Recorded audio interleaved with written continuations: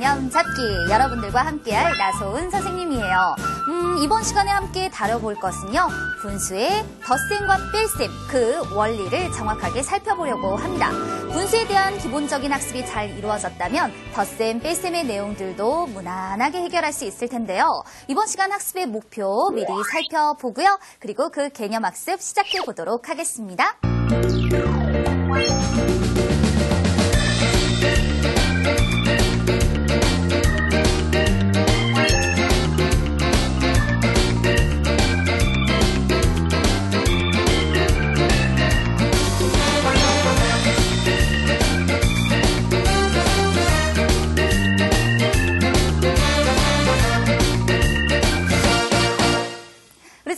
준비되셨나요? 그 첫 번째 개념 내용 소개해 볼 거예요. 분모가 같은 경우 진분수의 덧셈과 뺄셈이다라고 주어져 있죠? 우리 분수의 덧셈과 뺄셈 쉬운 거부터 찬찬히 단계를 밟아가 보자고요. 그래서 분모가 같은 진분수의 덧셈에 대해서 얘기를 하는데 음, 제목을 보세요. 답이 진분, 진분수인 경우, 답이 가분수인 경우. 이거 왜 구분을 해뒀을까요? 그러면 이런 예를 들어보면 여러분들이 이해가 쉬울 것 같아요.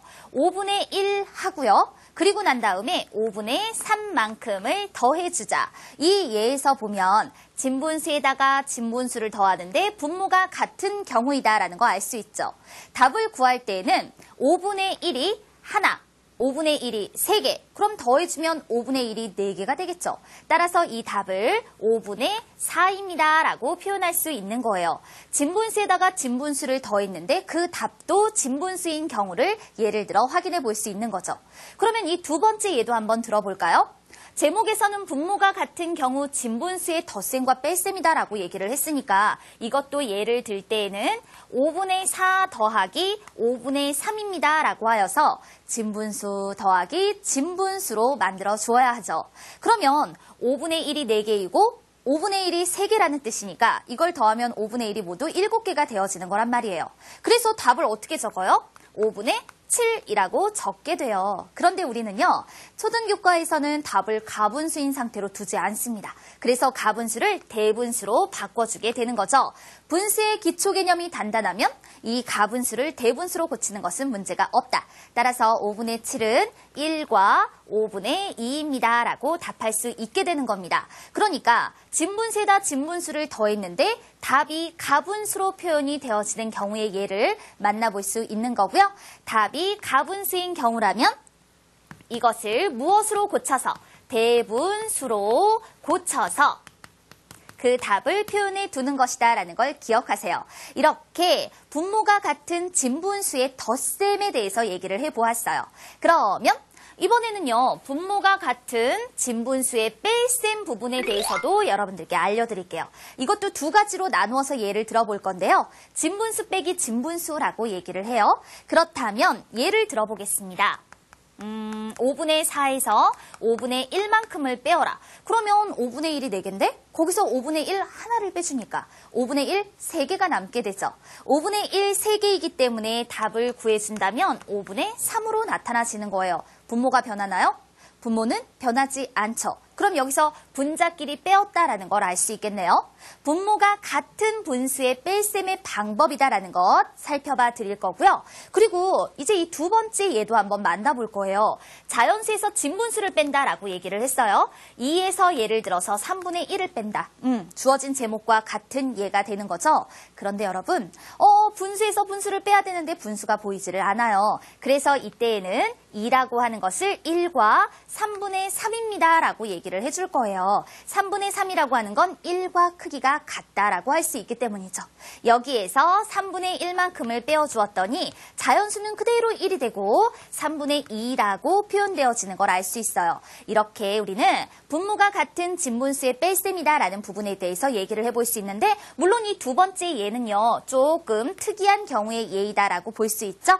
이렇게 자연수 부분의 1을 닫아내림해주는 관계에 대해서도 익숙하게 다룰 수 있어야 해요.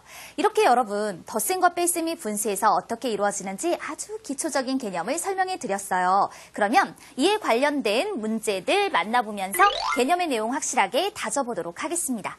다음에서 가장 큰 수와 가장 작은 수의 합을 구하시오. 일단은 분수의 크기를 비교할 수 있어야 해요. 그런데 분모가 17로 모두 같습니다. 그럼 이런 경우는 분자의 크기를 비교해서 그 수가 크면 더 큰 분수, 작으면 작은 분수 이렇게 구분을 해요. 어떤 수가 제일 크냐? 15가 가장 크죠. 누가 제일 작으냐 했더니 3이 가장 작다라는 거 알 수 있단 말이에요. 가장 큰 수와 가장 작은 수의 무엇을 구해라? 합을 구해라 라고 얘기를 했으니까 우리는 17분의 15 더하기 17분의 3이라고 얘기를 해요. 누가 같죠? 분모가 같아요. 그러니까 분모는 우리 34라고 적으면 안 됩니다. 분모는 바뀌지 않습니다. 그대로 17로 적어주고 15와 3을 더해서 18이라고 나타내 주었어요. 진분수끼리 더하였으나 그 답이 가분수로 표현이 되어지는 경우죠. 이런 경우에 가분수를 대분수로 고쳐서 답하기로 했습니다. 따라서 답은 1과 17분의 1이더라. 이와 같이 표현되어야 해요. 주어진 문제 답 적습니다. 1과 17분의 1. 이와 같이 적어서 문제 해결해 주었어요. 또 다른 문제도 소개할 거예요. 이번에는 문장으로 주어져 있죠. 2리터들이 주전자에 물이 가득 들어 있었습니다. 그 중에서 8분의 7리터를 마셨어요. 주전자에 남아있는 물은 몇 리터입니까? 남은 것을 구하여라. 그러면 처음에 있던 거에서 지금 마신 것만큼을 빼내야지 남은 것이 나오게 되죠. 따라서 식을 적을 때에는 2 빼기 8분의 7이라고 이와 같이 적어서 나타내줘요.